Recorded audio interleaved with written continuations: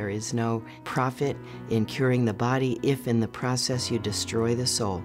It's old language. It was a hundred years old, but the concept is deeply true today as it was a hundred years ago. So I see the first hundred years as establishing us as a major uh, comprehensive cancer center known for its care of patients, compassion of patients.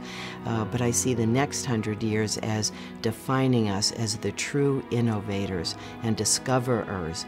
We've learned what cancer is. We've learned what starts it, what makes it happen.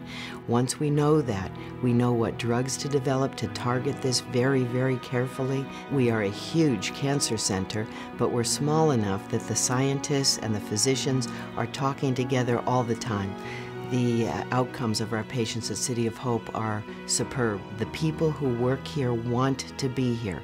They want to work with patients who have cancer. They want to help.